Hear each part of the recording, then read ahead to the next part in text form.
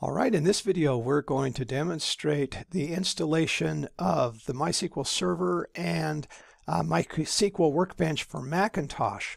So as you can see, I am on the MySQL Community Downloads page and we want the Community Server. So we click that. It should automatically detect that you are using uh, the Mac OS and therefore it brings up the options. Let's just go ahead and take the first option.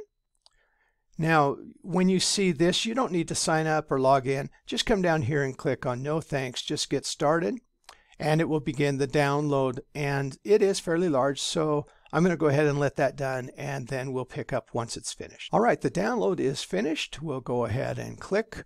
It should then open up the installer. There it is.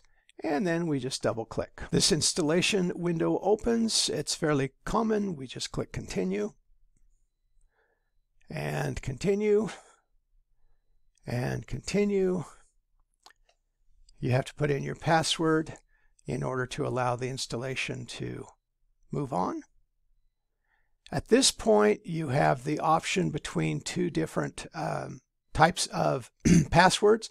Let's go ahead and choose Legacy for Macintosh, and then you're going to click Next. Now, Notice that the username is automatically root. You need a password. Below are the requirements for this password. So my recommendation is that you go ahead and um, open a password management tool or a text editor. So I'm going to bring up text edit. I'm going to create a new document and the reason I'm doing this is so that I can type my password here. I can save the document so there's no doubt that I know what that password is. All right, so I'm going to call my password my S3LP at SS Word. All right, so just to play on the MySQL password, I'm then going to go ahead and save this document and I'm just going to call it the MySQL password. And then you can choose where you want to save it. I'm going to go ahead and just save it to my desktop so I know right where it's at and save. All right, so now I have the document and I'm not going to lose the password. So I copy it, I come back over here, I paste that password in, and then I say finish.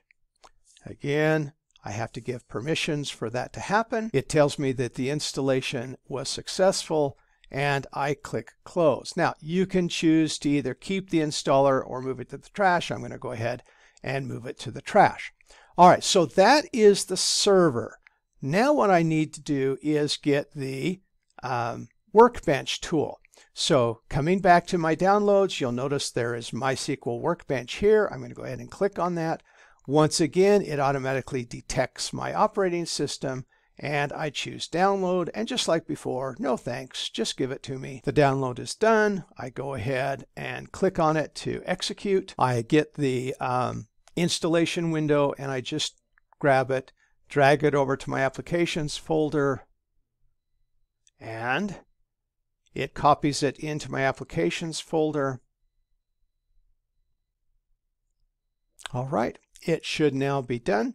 So if I click over here on applications, notice I do have MySQL Workbench.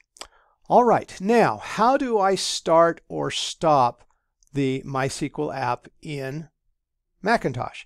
So what I'm going to do then is I am going to go up to my Finder. I am going to excuse me, I'm going to go to my Apple menu and I'm going to choose System Preferences. And in my list of system preferences, you'll notice down at the very bottom, I have MySQL. And when I click on it, it opens this and I can see that it is running. And the reason it's running is because I told it to do so at the end of the installation process.